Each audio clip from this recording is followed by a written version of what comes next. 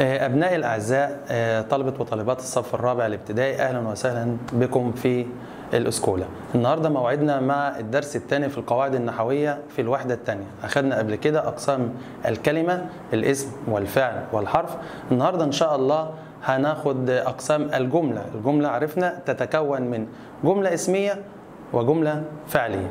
هنبدأ النهاردة إن شاء الله بالجملة الاسمية. الجملة الاسمية هي بتتكون من ركنين أساسيين هما المبتدأ والخبر. المبتدأ والخبر.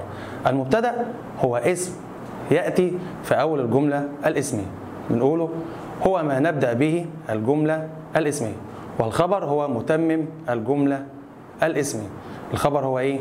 متمم الجملة الاسمية مثال لو أنا قلت الجو بارد.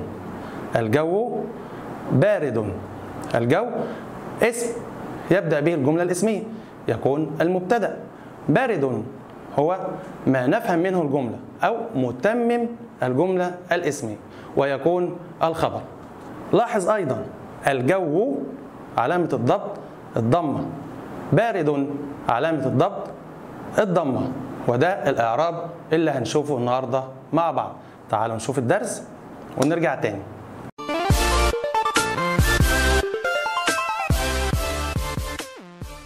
الجملة الاسمية هي التي تبدأ باسم والمبتدأ هو الاسم الذي تبدأ به الجملة والخبر.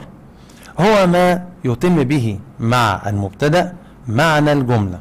تعال نشوف الحاجات دي كلها مع بعض بالأمثلة. الجملة الاسمية تتكون من ركنين أساسيين هما المبتدأ والخبر. الولد مؤدب. الولد مؤدب. تمام؟ طب تعالى نشوف الولد. اسم في أول الجملة. يبقى مبتدأ. مؤدب. مؤدب. يبقى أنا فهمت إيه؟ فهمت إن الولد مؤدب. يبقى ما نفهم منه الجملة الإسمية هو الخبر. يبقى الخبر مؤدب. يبقى المبتدأ هو الاسم الذي نبدأ به الجملة. هو الاسم الذي نبدأ به الجملة. أما الخبر هو ما يتم به مع المبتدأ معنى الجملة أو بمعنى هو متمم الجملة الإسمية هو متمم الجملة الإسمية أو ما نفهم منه الجملة الإسمية. طيب. الجو بارد الجو بارد. يلا يبقى الجو أهي معانا اسم في أول الكلام يبقى مبتدأ. بارد ما يتم به الجملة هو الخبر. يبقى الجو مبتدأ. بارد خبر. بارد خبر. طب بالنسبة للإعراب لو أنتوا شايفين في الجو في علامة هنا اهو ده اسمه الضبط. وبارد برضو في علامة في آخر حرف الضبط. وضع العلامة الإعرابية على آخر حرف في الكلمة. الجو الجو بارد بارد. يبقى المبتدأ هنا بالنسبة للإعراب بتاعنا الجو مبتدأ مرفوع وعلامة رفعه الضمة. الجو تاني مبتدأ مرفوع وعلامة رفعه الضمة. بارد بارد.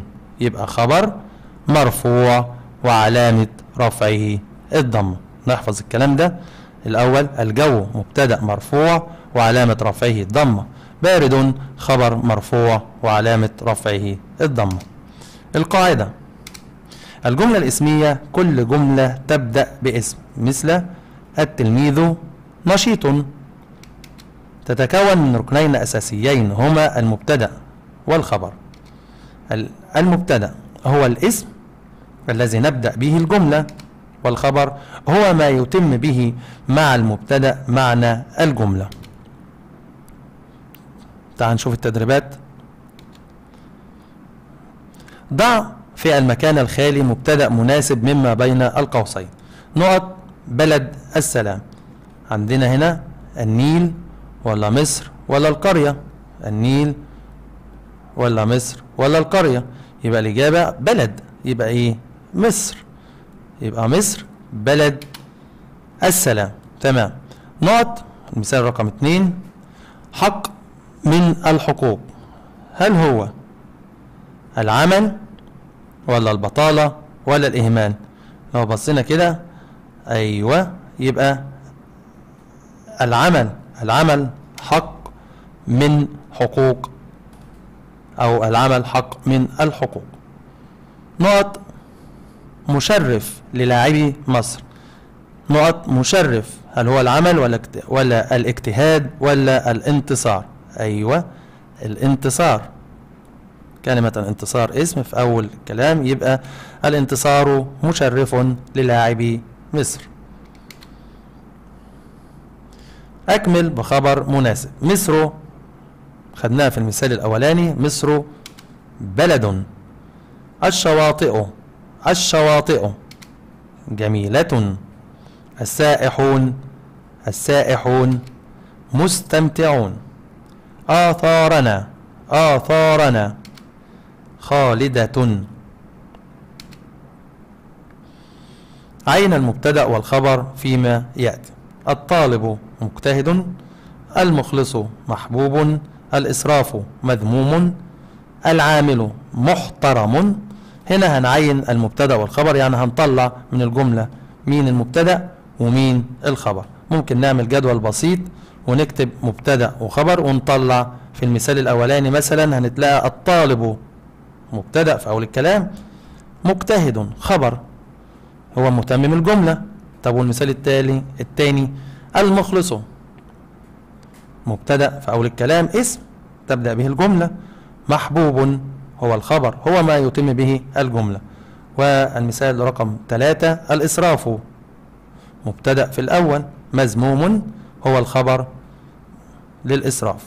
العامل مبتدأ برضو في المثال رقم أربعة محترم هو الخبر بتاعها تعال نشوف الجدول بتاعنا. المبتدأ الخبر طالب مجتهد المخلص محبوب الإسراف مذموم. العامل محترم.